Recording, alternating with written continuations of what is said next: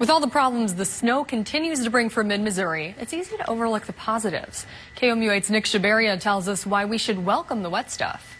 Two St. Joseph men have been killed in a single vehicle accident in northwest Missouri late last night. Detectives in Florida are searching for the man who broke into a Fort Myers jewelry store by ramming a vehicle through the front door. Missouri's GED test will see some big changes in 2014. One of those changes is the price of the test will more than triple next year. The U.S. House of Representatives passed the Senate's version of the Violence Against Women Act on Thursday. Weekend mail in mid-Missouri will soon see a change after a big announcement today from the Postmaster General. General.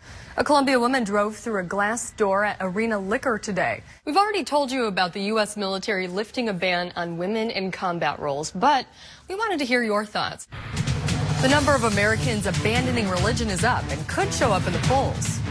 Click it or ticket and pump the brakes. MoDOT hits the gas on a pair of safety weeks. And a new noise ordinance could turn down the volume on Jefferson City musicians. KOMU 8 News starts now. KOMU reported earlier this week on a decades old mistake that just recently hit one Columbia family hard. It's actually pink. Cool. How'd you know that? Oh, I just wanted it to be pink. Hmm, okay. I'll Women's buy into intuition. that. I'll buy that. Dave, thank you very much.